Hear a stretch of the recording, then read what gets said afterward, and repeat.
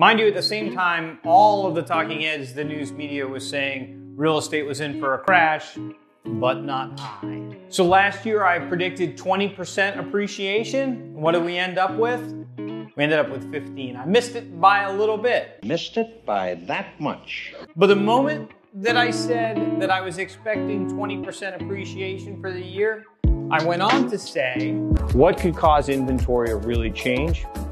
A big hike in interest rates that could certainly do it. I was right about the interest rates, but I wasn't so right about the inventory. And, and those of you that follow my Market Mondays know that I've been saying for months now what if the Federal Reserve's plan to raise interest rates to cause more properties come onto the market, to cause prices to go down? What if that plan doesn't work?